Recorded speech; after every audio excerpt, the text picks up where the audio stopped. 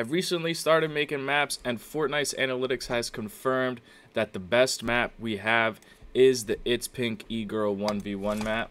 And the maps are doing pretty decent for me right now. We got three people playing it. We got three people playing hide and seek. And we got three people playing pickaxe only.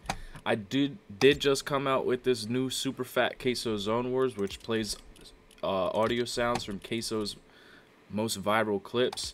And then I just came out with this brand new multiple POI fast-paced Zone Wars made by DMTnick on Twitch. So make sure you guys check out these maps. The number one though I'm telling y'all, I promise y'all, is this Is Pink E-Girl 1v1 map. This map is absolutely fire. So go ahead, make sure you guys check out the map codes and let me know in the comments section what you think about my maps. If you have any suggestions, comments, concerns, or ideas about new maps or how to improve my current maps, please DM me or just put it in the comments section. I'll try my best to get back to each and every one of you. Thank you guys so much for watching this video. Make sure you hit that like button, share button, and subscribe. Appreciate all your support.